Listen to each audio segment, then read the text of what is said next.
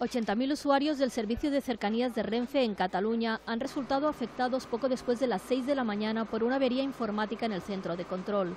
Durante más de una hora el tráfico de unos 200 trenes ha quedado paralizado, lo que ha provocado retrasos de unos 45 minutos de media. El director de cercanías de Cataluña de Renfe, Félix Martín, ha pedido disculpas a los afectados y ha exigido a Adif que este tipo de averías técnicas no se vuelva a repetir. Desde el punto de Renfe estamos solicitando, reiterando las solicitudes a ADIF para que este tipo de averías técnicas eh, se, se, aminoren, se eliminen. Eh, efectivamente, tenemos una red muy abierta, en muchas ocasiones las averías no proceden de los sistemas ferroviarios, hay, hay atropellaments, uh, tenemos otros problemas de, de, vandalismo, pero concretamente trabajamos para que las averías técnicas, todo aquello que se puede concretar, de acuerdo, no se vuelva a reproducir.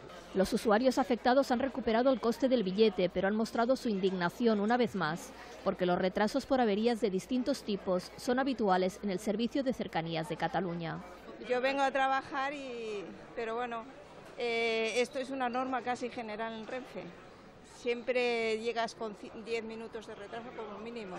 Me han devuelto el billete, ¿eh? por lo menos hemos conseguido algo. Vale, gracias. Vale, sí, llegamos como muy bastante tarde, 10 minutos, 20, porque ha llegado 20 minutos tarde el tren. ¿Por qué? ¿Qué pasa hoy? No sé, no porque pasa, siempre van tarde y ya estamos acostumbradas. Pero bueno, al menos nos han devuelto el billete. Técnicos de Adif, por su parte, investigan las causas de la caída informática que ha afectado tanto a la regulación del tráfico ferroviario como semáforos, comunicaciones con los maquinistas y servicios expendedores de billetes. La única línea que se ha salvado del caos ha sido la del AVE, que cuenta con vías propias y ha podido circular sin problemas.